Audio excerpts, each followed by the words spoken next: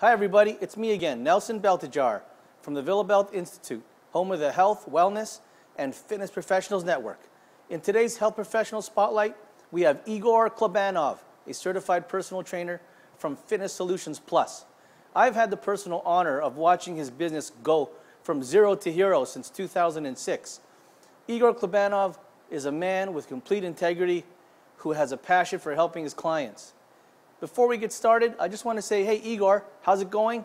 And more importantly, how do you keep your clients on track?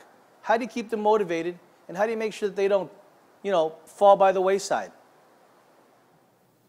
Hi, Nelson. Hi, everyone. This is Igor from Fitness Solutions Plus. And very often, during my public speaking engagements and often clients always ask me, how do I stay motivated? How can they maintain their motivation to reach their goals? One thing I always tell them is dig deep. Figure out what drives you. Why is it that you want to lose weight or gain muscle? How will you feel if you don't gain muscle? How will you feel if you do gain muscle or lose weight or get to the body of your dreams? So, very, very important. Dig deep. And if you need to, I recommend hiring a fitness professional to help you figure out exactly what drives you and know how to motivate you. Thanks, Igor.